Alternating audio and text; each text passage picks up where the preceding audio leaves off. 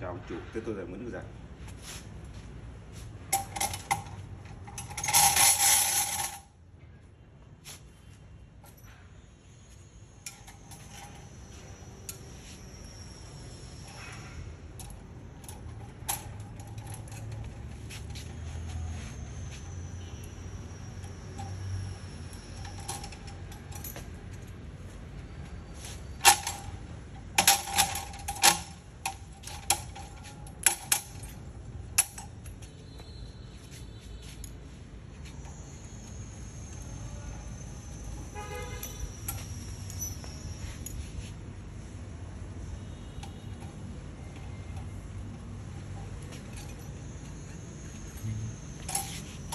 nuôi căng hơi căng góc